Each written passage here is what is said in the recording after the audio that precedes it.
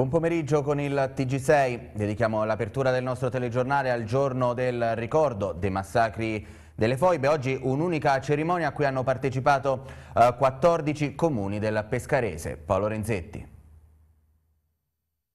L'amministrazione comunale di Pescara, la provincia, i comuni di Montesilvano, Spoltore, Città Sant'Angelo, Penne, Cepagatti, Pianella, Cappelle sul Tavo, Scafa, Moscufo, Nocciano, Picciano, Civitaquana, Santo Femia Maiella hanno celebrato a una sola voce il giorno del ricordo per onorare questa mattina congiuntamente la memoria degli italiani caduti sull'altra sponda dell'Adriatico e quelli costretti all'esilio durante e dopo la seconda guerra mondiale. E per dire no a revisionismi e negazionismi su una tragedia nazionale e umanitaria.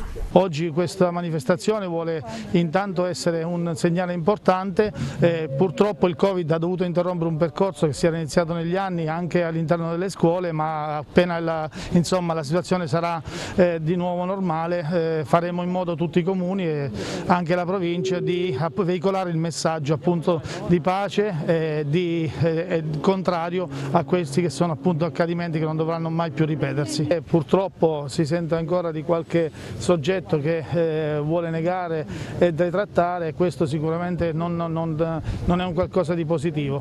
Quello che invece bisogna fare eh, durante queste giornate è ricordare, essere più uniti che mai eh, appunto affinché queste giornate siano da monito perché certe situazioni, certi, certi episodi non, non, accadano più. Solo 14 perché poi oltre ai loghi dei comuni eh, presenti sulla locandina a questi comuni si sono aggiunti altri comuni comuni, quindi c'è stata un'adesione importante, segno di un, di, un, insomma, di un, significato importante che tutti i comuni e tutto il territorio pescarese ha voluto dare a questa giornata.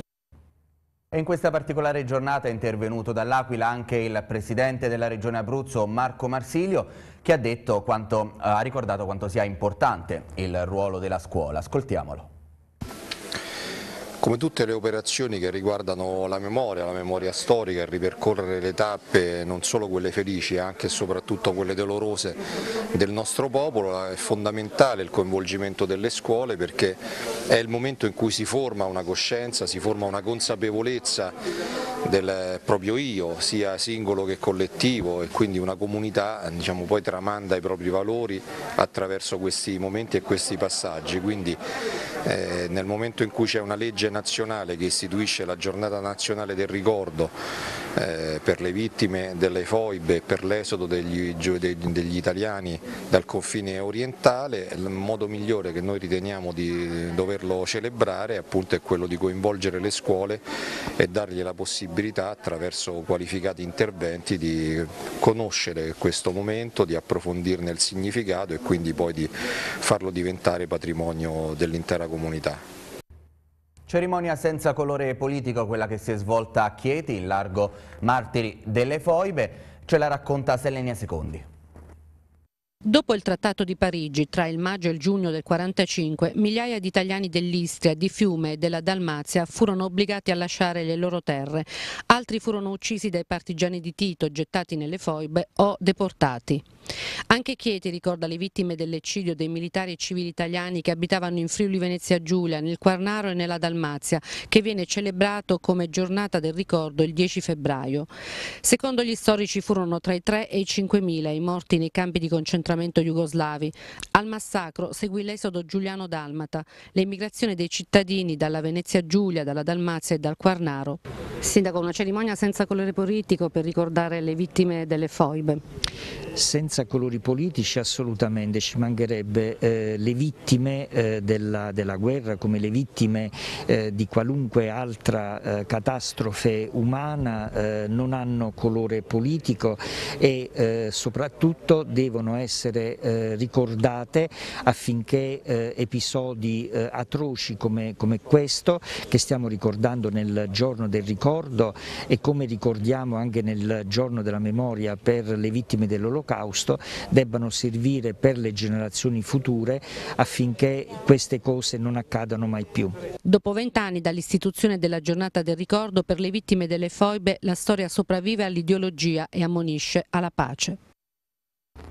E durante la notte i militanti di Federazione hanno appeso striscioni riguardo il massacro delle foibe in diverse città italiane. Uno di questi striscioni anche a Pescara, sul liceo scientifico Da Vinci, e un professore del liceo però ha deciso di strapparlo, spiegando il perché in un video. Il giorno del ricordo ci ricorda di un'Italia che deve ancora fare i conti col proprio passato. La ricorrenza del 10 febbraio per non dimenticare i massacri delle foibe e l'esodo giuliano-dalmata fu istituita il 30 marzo 2004 con una legge i cui primi firmatari furono Roberto Menia e Ignazio La Russa, ex militanti del Movimento Sociale Italiano, entrambi confluiti in Fratelli d'Italia. A Pescara, su un muro del liceo scientifico Da Vinci, questa notte è comparso uno striscione a firma dell'associazione di destra Audere Semper Twitter riconducibile a federazione. Lo striscione non è piaciuto a un professore di storia e filosofia di quel liceo che lo ha strappato raccontando in un video postato sui social i motivi del suo gesto. Si tratta di propaganda parafascista, ha detto il docente. Qui all'ingresso del liceo stamane ho trovato un cartellone onore ai martiri delle foibe firmato Audere Semper Federazione l'ho appena rimosso perché è propaganda parafascista e sulle foibe ho fatto un discorso storiografico serio, un dibattito pubblico vero a partire dai crimini commessi dal fascismo in Jugoslavia e la reazione criminale che furono le foibe, la persecuzione dei foibe. Questa è propaganda fascista e quindi va rimossa. I massacri delle foibe al termine della seconda guerra mondiale rappresentano uno dei tanti terribili episodi di quegli anni in cui uomini e donne morivano a migliaia tutti i giorni sotto i bombardamenti, al fronte, nei lager o di stenti. La Dalmazia era stata occupata dagli italiani nel 1918, dove imposero l'italianizzazione forzata e violenta della popolazione slava. Tra gli slavi, dopo anni di abusi, il sentimento anti-italiano era preponderante e portò all'ingiustificabile eccidio di migliaia di civili durante l'avanzata dell'esercito comunista jugoslavo. Il professore pescarese, che auspica un dibattito pubblico sull'argomento senza strumentalizzazioni politiche, nel video si rivolge direttamente ai militanti di Audere Semper. E a non richiamarsi a D'Annunzio, ma a Audere Semper, che D'Annunzio diceva a volto scoperta, aveva una caratura intellettuale, culturale nettamente superiore a quella di Mussolini, non era beceramente razzista e fascista appunto come Mussolini e, quindi, insomma, e poi soprattutto agite a volto scoperto. Cambiamo argomento, il Comune di Pescara partecipa all'iniziativa nazionale contro il caro bollette spegnendo questa sera le luci di monumenti e palazzi cittadini.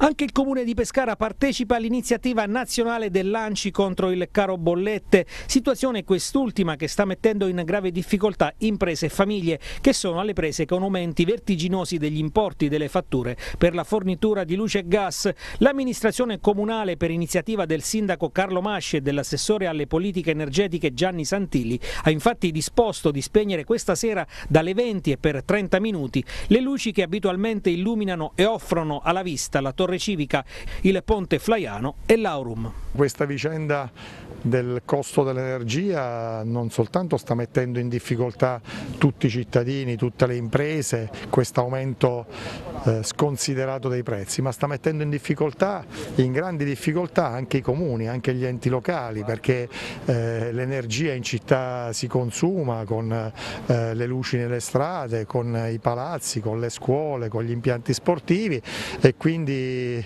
noi partecipiamo a questa protesta civile spegnendo le luci in alcuni luoghi e palazzi simbolo come l'Aurum, come il Palazzo di Città e come il Ponte Flaiano, eh, ci saremo anche noi a questa manifestazione nazionale. Come amministrazioni locali cosa eh, si può fare per andare incontro ai cittadini sotto questo punto di vista? Ma si può fare ben poco, purtroppo il costo dell'energia non dipende dai comuni, anzi i comuni subiscono il costo dell'energia, anche noi avremo un aumento considerevole del costo eh, della spesa legata all'energia eh, che peserà sui bilanci del comune di Pescara come eh, sui bilanci di tutti i comuni d'Italia. Io mi auguro che i prezzi tornino a scendere, tornino alla normalità, il momento è complicato, cerchiamo di difenderci ma le difficoltà ci sono. Il Comune di Teramo ha acquistato e donato alla protezione civile quattro tende per emergenze di ogni tipo. Le strutture potranno essere montate in meno di un'ora e per il momento sono destinate a diventare una chiesa in località Cavuccio e a riparare gli ambulanti del mercato generale. Tania Bonici Castelli. Il comune di Teramo preventivamente si attrezza per future emergenze ambientali e acquista a favore della protezione civile quattro tende da utilizzare in caso di bisogno. Ogni struttura si monta in meno di un'ora e da oggi, grazie ad una formazione sul campo, anche i dipendenti comunali saranno in grado di farlo, tanto quanto i volontari.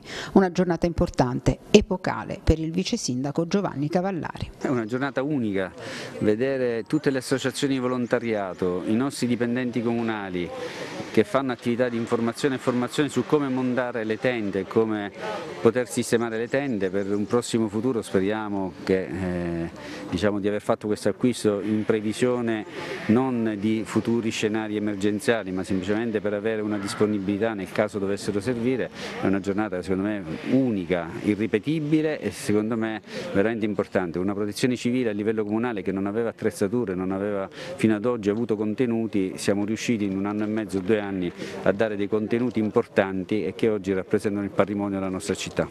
Messaggio che l'amministrazione comunale di Teramo intende lanciare con questa iniziativa è che non si debba ricorrere alla protezione civile solo in caso di calamità, ma anche per esigenze quotidiane della popolazione. In questi giorni, per esempio, serve una chiesa nella frazione di Cavuccio e a Piazza Verdi i commercianti del mercato lavorano da mesi all'aperto sotto ogni intemperia. Le quattro tende saranno utilissime. L'acquisto di queste tende rappresenta un simbolo proprio di una nuova concezione di protezione civile. Sì, quella che abbiamo voluto eh, dare all'attività amministrativa del nostro ente con il vice sindaco Giovanni Cavallari.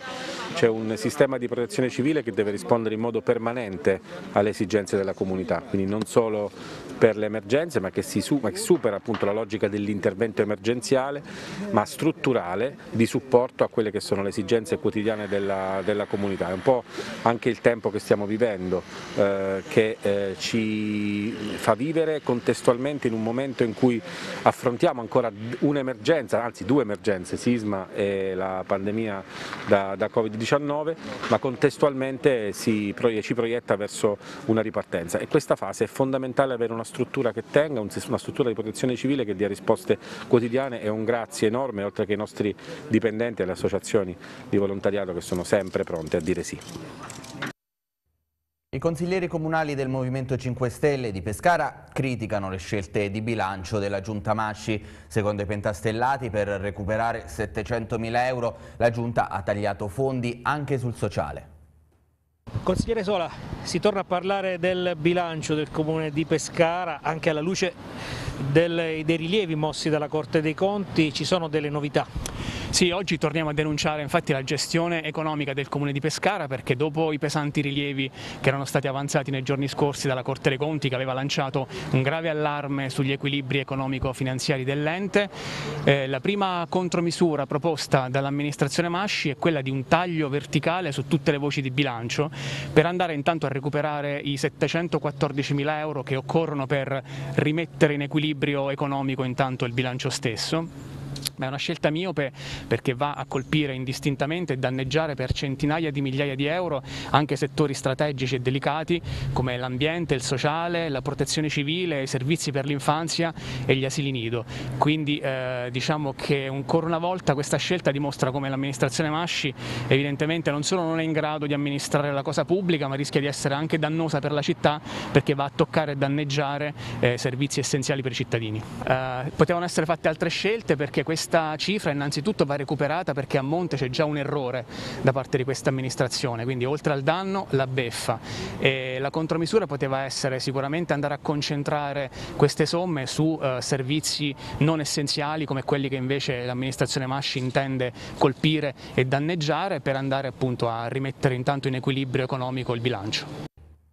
Tra le iniziative sulle quali l'amministrazione comunale di Chieti punta per eh, invitare i cittadini a salire in centro storico c'è il mercato dell'antiquariato. È stato emanato un bando che individuerà il nuovo gestore. Il mercato eh, si terrà la quarta domenica del mese e si chiamerà L'Antico in Piazza. Per dare maggiore lustro al mercato dell'antiquariato al Chieti, l'amministrazione comunale ha pensato di indire un bando specifico. Assolutamente ci accingiamo ad adottare una delibera in giunta con la quale andremo a dare indirizzo al settore eh, per l'indizione di un avviso, di un bando eh, che eh, ci eh, consentirà di selezionare eh, appunto il concessionario nel mercato dell'antiquariato di Corso Marruccino, ma cercheremo veramente di stabilire dei criteri eh, eh, che eh, siano impostati sulla qualità, vogliamo mettere eh, in piedi un evento che sappia caratterizzare la nostra città eh, sulla strega delle, delle, buone prassi eh, nazionali. devo dire che abbiamo una grande attenzione attorno al nostro mercato dell'antiquariato, però vogliamo fare in modo che questo diventi ancora più attrattivo, che sappia ancora di più portare persone in città e perché riteniamo che sia non soltanto un modo modo ulteriore per, per, aumentare le presenze nella nostra città, ma contestualmente anche dare un supporto a tutta la categoria commerciale perché ovviamente e poi eh, il Corso Marucino ha eh, tante attività di commercio al dettaglio, di commercio di vicinato che sicuramente tra, ne trarrebbero beneficio. Si chiama Io riparto, il Live Lab per promuovere la cultura del digitale, presentato oggi alla Camera di Commercio di Pescara. Tornano i talkers di Io Riparto, associazione di promozione sociale nata a Pescara che ha l'obiettivo di promuovere la cultura e le competenze digitali in tutti i settori della vita pubblica e privata. Non a caso il nome scelto quest'anno per l'evento è Orizzonti 2022 per guardare con fiducia ad un futuro che è già dietro la porta e chiede con urgenza di colmare quel gap digitale che ancora frena istituzioni, imprese e cittadini. In un momento in cui eh, forse era, parliamo di due anni fa, eravamo nel momento più brutto forse della storia contemporanea e il mondo stava cambiando eh, in maniera eh, totale per quanto riguarda la digitalizzazione e per quello che potesse servire. E di conseguenza la Camera di Commercio ha investito somme importanti sulla digitalizzazione e il punto digitale praticamente con la sua rete ha dato il suo contributo importante, eh, noi dobbiamo continuare a comunicare l'importanza perché noi vediamo una cosa assurda che praticamente le aziende non trovano personale preparato nel digitale e ci ritroviamo una quantità di giovani disoccupati da far paura. Iniziativa importante perché riguarda tocca un tema fondamentale per la Camera di Commercio e per tutto il territorio, quello della digitalizzazione, dell'innovazione tecnologica, della trasformazione digitale. Eh, sono leve fondamentali per la competitività di un territorio e la Camera di Commercio lo vede come un eh, punto strategico del proprio programma. Io riparto è senz'altro un'iniziativa molto interessante che noi abbiamo spostato sposato da alcuni anni e che sosteniamo perché crediamo che sia un, un laboratorio di idee dinamico, vivace, che consente proprio lo, lo sviluppo di una cultura digitale di cui c'è estremo bisogno in Italia e in Abruzzo in particolare. Sì, eh, intanto la ringrazio la Camera di Commercio perché è da due anni che appoggia questo progetto ritenendolo uno dei mezzi con cui trasmettere la conoscenza e la, e la trasformazione digitale in atto. C'è bisogno di un cambio di passo perché fino a qualche mese fa eravamo chiusi in casa con le mascherine, adesso le mascherine ce le abbiamo ancora, ma ancora per poco speriamo, e siamo usciti di casa e c'è bisogno di capire eh, e la nostra trasmissione cerca di aiutare in questo, dove andare, cosa fare e come avvalerci della trasformazione digitale in atto. E ora la pagina dello sport a partire dal calcio di Serie C. Ospite della trasmissione replay lunedì sera il tecnico della primavera del Pescara, Pierluigi Ervese, ha parlato dei giovani cresciuti nel vivaio biancazzurro che adesso sono sempre più protagonisti nella formazione di Auteri. Ascoltiamolo. La, la, caratteristica principale di Alessandro, penso che oramai l'ha dimostrato anche, è la personalità. Lui ha una personalità importante, un carattere forte, riesce ad essere lucido, a mantenere quella lucidità che ti consente di fare delle scelte importanti e, poi tecnicamente un portiere pulito e oltre alla tecnica che ha lui ha una qualità allucinante con, con i piedi che per il portiere in questo momento è una caratteristica eh, che fa la differenza. Veroli eh, anche lui l'anno scorso è stato, un, è stato una, una, bella soddisfazione dai, perché veniva da periodo di incertezza a livello, de, a livello di ruoli no? decidemmo di, di portarlo dietro e, e, fu una scelta azzeccata perché poi il ragazzo ha, ha condiviso. Prima giocava a centrocampo? Era un centrocampista e mi, per me gli disse se vuoi avere una, una, prospettiva importante proviamo a fare qualche passo indietro perché lui ha qualità, ha visione di gioco, ha questa struttura fisica pure eh, importante e devo dire che l'intelligenza del ragazzo ha portato a far sì che lui accettasse questa scelta. Ma Bellanuta è, è un giocatore diciamo quasi completo, secondo me ha bisogno un pochettino ancora di, di, di mettere quella forza che ti de determina in una categoria importante come inizia a essere la, la Serie C però ecco un discorso, un giocatore tecnico, un giocatore veloce nonostante la sua struttura fisica e, ed è un giocatore che vede la porta. Quindi. Senti questo gioiellino delle Monache 2005 è così tanto forte? Ma a me mi colpì subito, io quest'estate all'inizio del campionato quando facevamo la preparazione non avevo il numero necessario per poter fare una partitina e feci salire dei ragazzi dalla 17 e vidi questo ragazzetto piccolo piccolo. A tutti ricorda Mauro Esposito? Eh, sì, come caratteristiche sì. E poi facemmo questa partitina e da lì lo portai nella, nella primavera perché veramente eh, talentuoso, no? ha lo spunto, ha forza pure nelle gambe e devo dire che è un altro ragazzo eccezionale, un ragazzo che ha la testa sulle spalle seguito sicuramente bene anche dalla, dalla famiglia dal suo procuratore e sono sicuro che questo questo esordio anche in prima squadra eh, darà un grosso contributo per la sua crescita perché è sicuramente un'esperienza importante e noi siamo contenti del, del, della riuscita di questi ragazzi perché dietro c'è un lavoro importante da condividere come ho sempre detto con tutto il settore giovanile e naturalmente perché sono ragazzi bravi, sono ragazzi bravi che meritano di stare lì e sicuramente faranno, daranno sicuramente il loro contributo alla squadra perché sono ragazzi pronti per, per giocare. Naturalmente il mister crede in loro e questa è una cosa positiva e secondo me come, come avrà la possibilità eh, cercherà di inserirli tutti. Il capitano del Teramo, Andrea Rigoni, torna a parlare dopo il successo di domenica contro la Lucchese, che per il centrocampista ha dimostrato il carattere di una squadra reduce da due stop consecutivi. Domenica Viterbo Arrigoni incontrerà il suo ex compagno di squadra Mungo, con cui ha condiviso a lungo lo spogliatoio, mentre per quanto riguarda il mercato, il Diavolo attende nella giornata odierna una risposta da parte di Jacoponi, difensore svincolato dal Parma a gennaio, che oltre a quella biancorossa ha ricevuto anche altre offerte. Oggi farà il punto col suo procuratore e poi deciderà se accettare l'offerta del Teramo.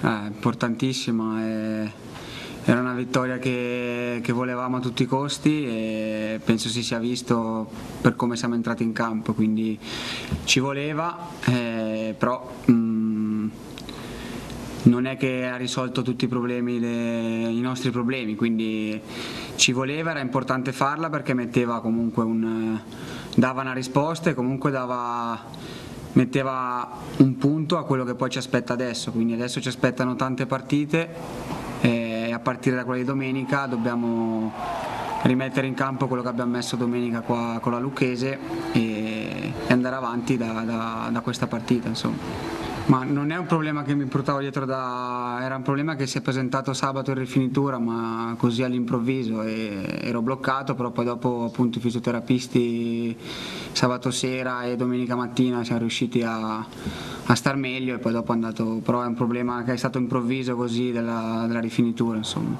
È normale che sono cose che si sentono quindi eh, uno pur non volendo comunque qualche pensiero è innegabile che, che, che lo fa, quindi eh, e probabilmente noi in un certo periodo magari anche inconsciamente non che sia stato per quello che noi abbiamo avuto quel momento un po' così, però sicuramente nel, nelle sconfitte eccetera eccetera è una cosa che magari eh, si aggiungeva a, tutto, eh, però vabbè io sicuramente devo devo cercare di, di, di, di tenere il gruppo, gruppo, compatto, di, tenere, eh, di andare tutti dritti la, nella stessa direzione, eh, però io penso che comunque il campo sia sempre la cosa più importante, nel senso che l'atteggiamento che uno deve mettere durante l'allenamento e durante la partita sia quello che, che poi spinge un po' tutti a ad andare, ad, a fare le cose per bene, quindi poi dopo se ci sono delle situazioni magari in cui bisogna parlare un po' di più, io cerco, essere, cerco di essere sempre a disposizione di tutti e di dare una mano un po' a tutti. Ecco. la partita di domenica, eh, la Viterbese è sicuramente una squadra che si è rinforzata tanto, che è in salute perché viene a due vittorie di fila e quindi sarà, sarà una battaglia, sarà... tutti e due abbiamo l'obiettivo di tirarci fuori da, dalla situazione in cui siamo e quindi dobbiamo fare una partita, una partita tosta, eh, una lotta contro di loro, vedremo di, di, di averla meglio. Per Mimmo è un ex eh, fresco che da, fino a due settimane fa era con noi e, e, niente, però domenica gioca per la Viterbese e noi per il Teramo, quindi ci saluteremo a fine partita. Insomma. Serie D per il Castelnuovo ieri sconfitta nel recupero contro il Vasto Girardi. Tocca a mister Guido Di Fabio analizzare il momento in casa nero-verde. Il tecnico plaude eh, la prestazione dei suoi ma recrimina per l'ennesima decisione arbitrale a sfavore. Vediamo il servizio di Stefano Recanati a seguire il commento dell'allenatore. Il Vasto Girardi espugna il Comunale di Castelnuovo e si aggiudica il recupero della diciassettesima giornata di andata. L'1-2 finale sa di rivalsa per il Vasto Girardi che qui aveva perso 3-0 in Coppa qualche mese fa.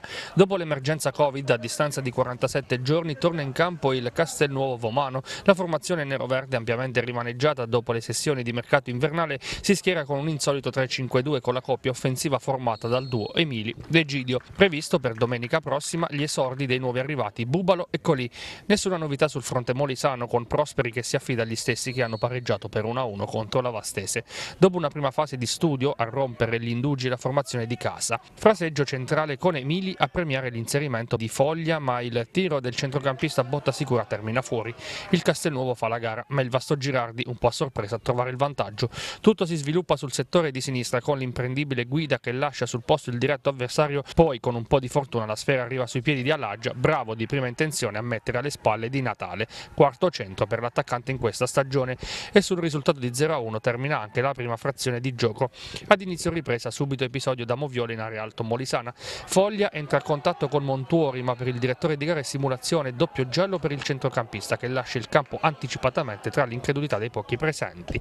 Il Castelnuovo con la forza della disperazione prova una reazione seppur timida, sgroppata sull'out di San Severino, il migliore dei suoi, che nel tentativo di mettere dentro per poco non trova la deviazione deviazione vincente da parte di un difensore ospite.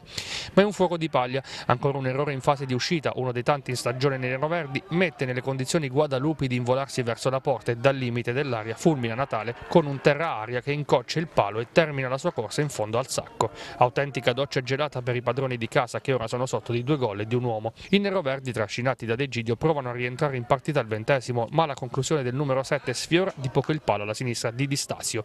Il vasto Girardi, forse appagato dal doppio vantaggio si adagia. Così il Castelnuovo al quarantesimo rientra in partita e il solito dei Gigi a tentare questa volta dalla distanza siderare la conclusione trovando l'infortunio del portiere che non calcola il rimbalzo e si fa scavalcare dalla sfera. Il finale è un monologo nero-verde ma nei tre minuti di recupero la squadra di Di Fabio non riesce ad avere lo spunto decisivo per pareggiare la sfida. Ora la classifica si fa sempre più preoccupante per i Teramani mentre il vasto Girardi vede sempre più vicina la griglia dei playoff. È sicuramente un ritorno amaro in campo quello del Castelnuovo, mister Di Fabio si aspettava qualcosa di diverso, anche se eh, come dice sempre l'impegno c'è stato, l'abbiamo visto fino alla fine, purtroppo eh, pesano questi tre mesi lontani dal, dai 90 minuti. No, ma, mm, che potessimo no, avere qualche difficoltà a, a livello fisico dopo, dopo tanti, tanti, giorni senza giocare, questo l'avevamo preventivato, ma la squadra ha retto bene per tutta la partita. Eh, il discorso è che eh, ritorniamo sempre eh, a quello che stava accadendo prima, non è cambiato niente perché la partita è in bilico, equilibrio assoluto il primo tempo, anzi abbiamo avuto prima noi delle occasioni per, per andare in vantaggio, poi dopo secondo tempo nel maggior momento di pressione nostro un episodio che mm, io dalla panchina ho sentito il rumore de, de, de, delle scarpe che si sono incrociate e addirittura il rigore non ce lo dà e ci dà l'espulsione del, del, nostro giocatore, è normale che poi eh, rimane in 10, no? nonostante ci siamo rimasti abbiamo cercato di giocarla fino alla fine, abbiamo commesso un errore sul gol del 2-0, eh, non abbiamo mollato, eh, abbiamo fatto anche il 2-1 in 10, ci abbiamo creduto fino alla fine, eh, lo spirito è quello giusto, okay? quello che, che, che, mi interessa eh, in questo momento, ai ragazzi ho fatto i complimenti, sicuramente eh, oggi eravamo, eh, avevamo qualche assenza di troppo, sono arrivati qualche giocatore nuovo che ci verrà da una mano, però lo spirito è quello giusto, quindi eh, andiamo avanti su questa strada senza preoccuparci più di tanto eh, della sconfitta di oggi. E ora un aggiornamento che riguarda la pallavolo con un cambio eh, di panchina. L'Altino ha esonerato l'allenatore Luca D'Amico, artefice della promozione in A2 femminile. Al suo posto il tecnico romano, esperto della categoria, Paolo Collavini. E così terminiamo questa prima edizione del TG6, i servizi che avete visto sono disponibili sul canale YouTube di TV6 e sul sito tv6.it. L'informazione tornerà questa sera alle ore 19, grazie e buon pomeriggio.